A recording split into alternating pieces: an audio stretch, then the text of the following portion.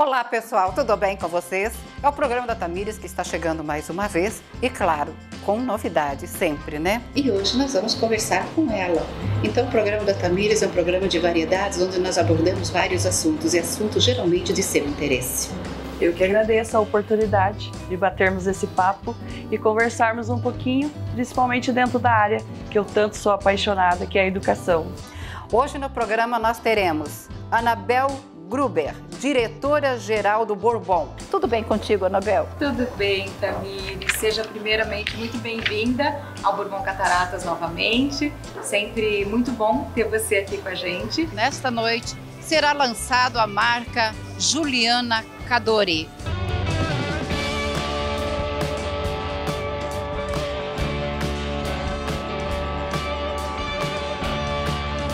Falei, vou atrás do que faz meu coração bater mais forte. E aí foi onde a gente idealizou e lançamos a marca. Aí vocês acompanharam esse bate-papo gostoso com ela, bem descontraído, uma rica de uma pessoa. Gente, sério mesmo, eu era muito curiosa para conhecer. Saí da cidade de Marama para vir aqui entrevistá-lo. Muito boa noite, Tamires. Muito boa noite, queridos amigos e amigas telespectadores. É um prazer enorme a gente poder se encontrar nas terras das cataratas. Ah, é bom. A gente levar um pouquinho da alegria, do otimismo nesse programa. Fantástico. Fantástico, né? Olá, pessoal, tudo bem com vocês? Eu, hoje eu estou aqui no Hotel Bourbon porque está acontecendo um evento maravilhoso, é a segunda edição Sem Fronteiras Malbec Day.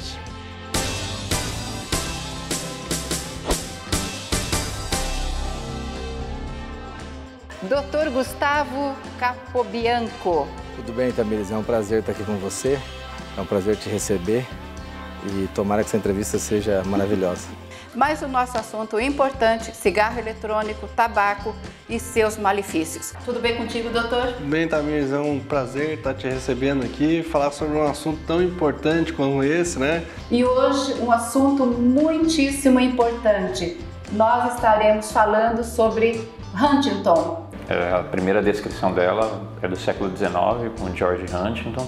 Em 1872, ele descreveu essa doença que era hereditária, né? passava de pai para filho. Hoje nós estamos na clínica da doutora Ilane Costa Ismânia. Ela é dentista e hoje vamos falar sobre a harmonização orofacial. Eu já fiz bichectomia, tá? é, eu tinha um rosto muito arredondado, era algo que me incomodava muito. Hoje no programa nós vamos fazer este bolo. Bolo de abóbora. É uma delícia e com cobertura de chocolate, se você quiser. Hoje eu estou no Cartório Bar e agora estou ao lado do chefe, Márcio Oliveira de Lima.